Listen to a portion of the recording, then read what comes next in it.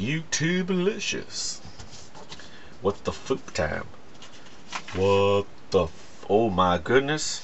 Explosives mistakenly left at a Sydney airport by federal police during a sniffer dog training. Boy, puppy. Yep. Happened in Australia. And it so happens that this was submitted by Ut- Utalayan Warata, aka the Naked Wombat. alright, here's, here's what happened, alright? The Australian Federal Police, AFP, has been left red-faced after an explosive device used during sniffer dog training was left in a suitcase at Sydney Airport. Alright? The AFP apologised after the suitcase containing about 230 grams of plastic explosives accidentally ended up in the hands of a female passenger on Tuesday afternoon. How do you not notice? Like, was like a stick of TNT. She's like putting on some lipstick. And it's it's sizzling, and it's probably the wick is. Oh, this is a hot lipstick. This is very. Oh, it's lit. It's a TNT stick. It's not lipstick. Maybe it's Maybelline. No, maybe it's explosives. Open your eyes, lady. my god. the device, which was not live. Oh, well, that's not fun.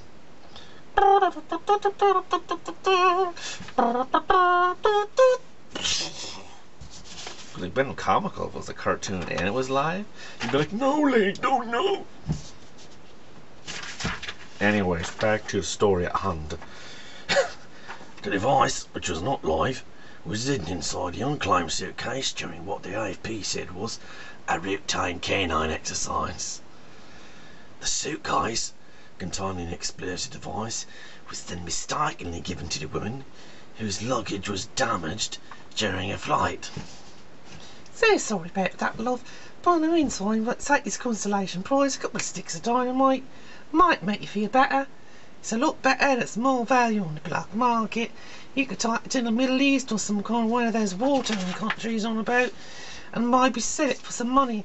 Replace your luggage, good as new. oh my god.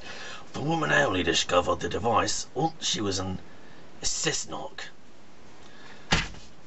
What the fuck is Cessnock? Don't make me Wikipedia that shit. Seriously, what is Cessnock? She took it to a local police station where officers evacuated the building as a safety precaution. Everybody get out of the office. Everyone out of the station. We have a bundle of what looks like to be lipstick. Lipstick. Mix up.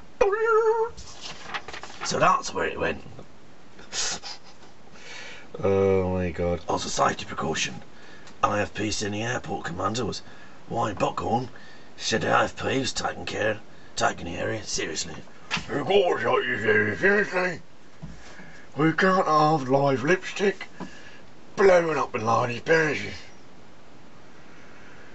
Now, how much stock did invite me, didn't you? Yeah, serious, serious business. The canine instructor who inadvertently left this device behind has been identified and will be the subject of a formal professional standards investigation, he said. End of story. That was good. Wait a minute. Left this device behind.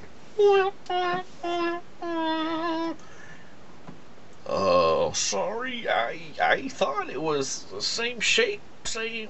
Which one of these does not belong? Uh, Think just keep your hand in the proper bag until one explodes. Process of elimination. Wake up, dude. There's puppies sniffing there. That's most important. What if the what if it went off? One of the poor little dogs. Yeah, explosives. Eye on the ball, guys. Come on.